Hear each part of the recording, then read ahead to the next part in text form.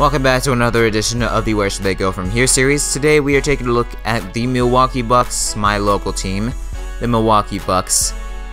And, um, yeah, and also I just want to say before I really get into this video, oops, that, that when, as I'm doing this, I am well aware of the fact that I probably won't end up finishing this series because, well, right now I'm just I'm just in a tough right now this just doesn't seem like a series that I will be in that I will end up finishing because I've just been focusing on my franchises mainly. And when I started off this series I was just mainly trying to just occupy something when it comes to NBA I was thinking about doing this the whole time but this might end up being the last video of this Where Should They Go From Here series. I'm sorry if I didn't get you your favorite team but I just don't have the time to do so. So we're just talking about the Milwaukee Bucks here. My local team, the Milwaukee Bucks, because I do live in Milwaukee. Moved out here for high school. And so when it comes to the Bucks, they're actually in a very good situation right now. They're in a very, very good situation. I think if you ask me, they're just it, the only thing that's stopping them from being title contenders is a a great point guard, a like an awesome point guard, and experience. Experience and an awesome point guard. That's the only thing that's stopping them, in my opinion. Now, in a, in a perfect world, they would get a guy like Markelle Fultz, or just like I think he would be an excellent fit playing off of Giannis and being another ball handler, a secondary ball handler. And then I think that that I but that probably won't happen unless they're willing to give up some guys like maybe Jabari Parker, which I mean that's not gonna work out because the whole point of that is to keep Jabari. But in terms of Thon Maker, he's actually pretty underrated. Wow, he's better. His defense is better than a C grading, if you ask me. His defense is better than that because he actually was a pretty good shot blocker for them. When it comes to Giannis, though, this guy is a freak. He is a freak. He is a baller. He's a beast. All right. He's only 22 years old, man. He's only 22 years old, and let, let, let's just let's just put this out here. All right. Let's just put this out here. Uh, can I go by non-averages? I think. Well, I think even then. So let's let's just put this in, into perspective here. All right. Look. Led his team in points. Led his team in rebounds led his team in assists, led his team in steals, and led his team in blocks. He led his team in all five of those statistical categories. He is a freak. He's a freak. And so, and so, like, now we have Jabari Parker, and um, I'm really hoping that he would he will end up being a good an all-star caliber player and that he doesn't end up getting injured so often because he was actually doing better than Andrew Wiggins in my opinion before he got injured. I mean, he was just he's just like almost a perfect guy to play off of Giannis. He'll be a good he's more like he's a good scorer and he's also pretty athletic to run with Giannis on the break.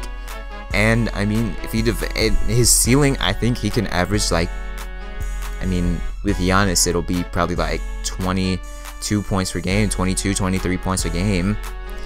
So, I mean, this, the, the Bucks are in an awesome situation. And, uh, so I live in Milwaukee, like I said. Obviously, the hype is all around Giannis, and it's also around Malcolm Brogdon, who should be Rookie of the Year. I think, I think him winning Rookie of the Year should be the thing because he actually he showed some promise. He actually had a triple a triple double early on this season. And I think him coming off the bench, like as a point guard, it's not so bad. If he start, if he's their starting point guard, like that wouldn't be such a bad situation for them. But I think he would be suited. He would be better suited in a role coming off of the bench. Coming off the bench, that would kind of be like he'll play that man. Yes, look at that triple double against the Bulls. Like he can play that sort of Manu Ginobili role for them, bring some energy and instant offense coming off the bench for the Bucks. I think that's kind of where I see Malcolm Brogdon falling because he's kind of like a do-it-all type of player. He can shoot, he can finish, can play make, can rebound in certain games. Pretty solid defensively too. And then Thon Maker. Thon Maker, I mean, against the Raptors, he showed he was a good rim protector, and, and I think I think that he's a guy that will be very good for the Bucks in the future because he'll be a good rim, protector once he finally emerges in that sense. And I think he's actually better than that. I think it should be at least a B minus if you ask me. And uh, he'll be able to space the floor too. He actually shot 37, 38% from three, so that's pretty good.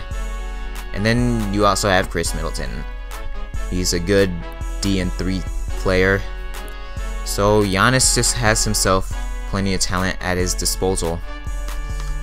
And he's a freak to go along with that.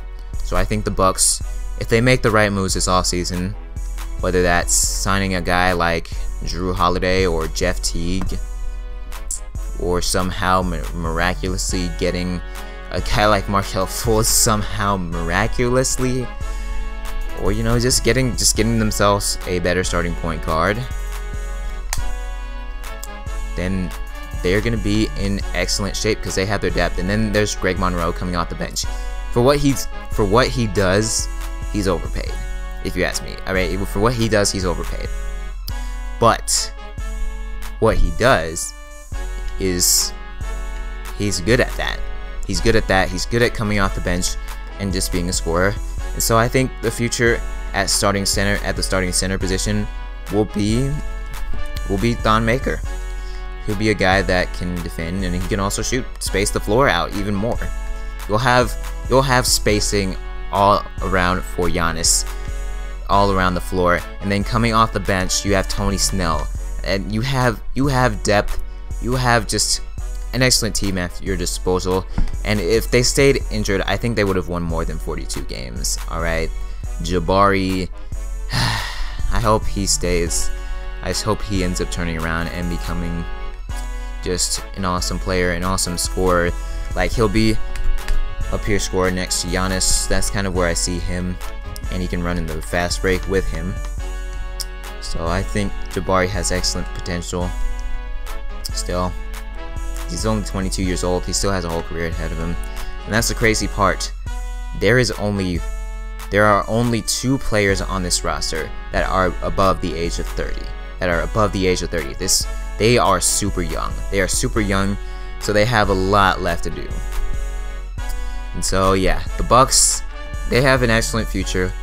And um, if you bandwagon off to the bu off of the Bucks for all the Milwaukeeans who are not Bucks fans, then uh, you need to you need to hop back onto them right now. Otherwise, you will not. Otherwise, it'll be too late to fill out your bandwagon application because you guys have something exciting here, and uh, I'm excited to watch it here because, I mean, I don't have I don't have cable anymore, but like if I did, I'd probably be watching Fox Sports Milwaukee most of the time, and that is where I want where I'll be watching the Bucks and the Brewers mainly. So yeah, and then also he's actually a decent free throw shooter too. But I mean, Khris Middleton is your, and also wow, Greg Monroe is actually shooting 74% from the free throw. That's pretty good for a guy like him. So yeah, I mean, this team is gonna be great. This team is gonna be awesome. Let's actually take a look at makers per 36. I'm actually curious to see what that is. Yeah, Greg Monroe, I mean, obviously. I'm actually curious to see what Thon Maker would have in terms of per 36. 15 points a game, 7 rebounds, 1.7 blocks. Yeah, I mean, I could see, I could see, maybe, I could see the rebounds and I could see the blocks because he'll probably be facing up more often in offense instead of getting rebounds. And uh, also, I think if Thon Maker does develop that face-up game, I think he'll give Draymond problems because I'm a Warrior fan, and Draymond has struggled with dealing with face-up fours that are taller than him. So if Thon Maker can develop that, then, I mean, that can, he'll give Draymond problems, if you ask me. If he just develops that knockdown shot. But yeah, that's the Milwaukee Bucks in a nutshell, and uh, I spent a long time talking about them because I'm excited to see what they have for the future. This team, they beat us in 2016. not this year, not this year. That's why we put them, put, put their own record. Not this year, you beat us. And sadly, I didn't go to the they'll go to that game, but oh well, it's whatever. Yeah, he didn't beat us at all this year. But anyways, that'll do it this edition of the Milwaukee Bucks. And um, if I end up doing another Where Should I Go From Here series video, the next team I will be going over with, with uh, going over will be the Atlanta Hawks. So I'll see you then, if I do see you.